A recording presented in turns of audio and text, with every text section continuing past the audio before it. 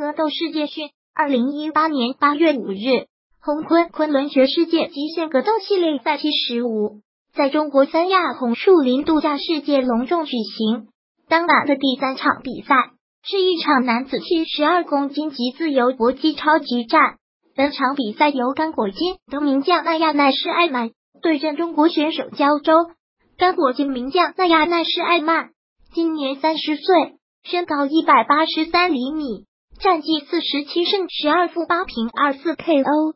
本来要在诸神之战八分之一决赛对阵泰国选手苏波邦班才明，但是由于苏波邦赛前训练肌肉受伤，比赛推迟至九月。本场比赛临时改为七十二千克超级战，而临危受命出战的中国选手胶州，今年二十四岁，身高一百七十六厘米。战绩十六胜七负七 KO，来自山东象王格斗俱乐部，曾获得了峨眉传奇年终盛典排位赛六十七千克冠军。比赛开始后，非洲名将艾曼利用自己身高的优势，不断向中国选手胶州发起压制进攻。由于在身高上劣势，胶州的很多拳法都无法有效打击到艾曼，而艾曼则以自己臂展的优势，不断重拳出击。在场面上占据了很大的上风，并在第一回合以后手重拳成功击倒胶州，拿下第一个独秒。